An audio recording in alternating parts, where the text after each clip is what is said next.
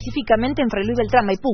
Porque vamos a hablar sobre el cierre de un juzgado de paz que se dio allí en la zona de Beltrán, el de ese distrito maipucino, por un caso de coronavirus que dio mm, una oficial, una policía dio positivo y a raíz de eso se llevó a cabo toda una desinfección en ese lugar, también en la comisaría lindante y en toda la zona de Fray Luis Beltrán, en el centro de ese distrito tan populoso que tiene el departamento de Maipú. Totalmente. Vamos a escuchar a Fernanda Lacoste, de quien es subsecretaria de gobierno del departamento Maipú, que nos explicaba cómo fue el operativo y qué es lo que está haciendo allí en ese distrito.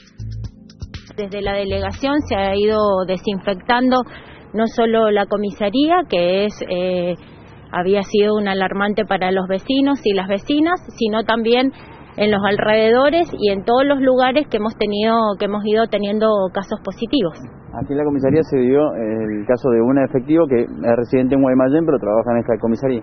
Sí, hacía poco que había venido a esta comisaría y bueno, justamente al dar positivo se desinfectó inmediatamente el lugar y sabemos que hay mucha gente aislada, o sea que hay agentes aislados, pero bueno, en ese sentido nuestro intendente inmediatamente actuamos para que no se quedara sin seguridad Beltrán, que es uno de los distritos más grandes que tiene Maipú. Entonces eh, sabemos que ya estamos recibiendo colaboración de Rodeo del Medio. Perfecto. Y también este, aquí cerca, por el Carril Los Álamos, tienen el caso de un mercadito.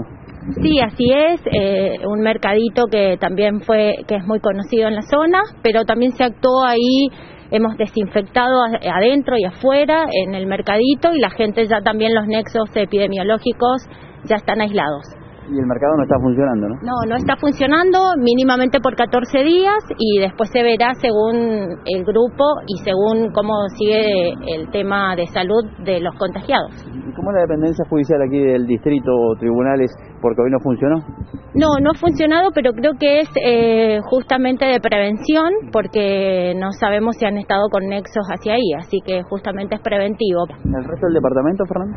Bueno, estamos, la verdad que esto ha ido surgiendo, tenemos casos que, que trabajan en otro departamento pero viven en Maipú y hemos tenido casos eh, positivos pero bueno, está, creemos que son nodos controlados y eso es lo que nos dice la provincia, así que también trabajando firmemente con el tema de las desinfecciones que nos parecen importantes. En cuanto a mm, desactivar fiestas, reuniones familiares fuera de horarios o que no están permitidas por la cantidad de gente?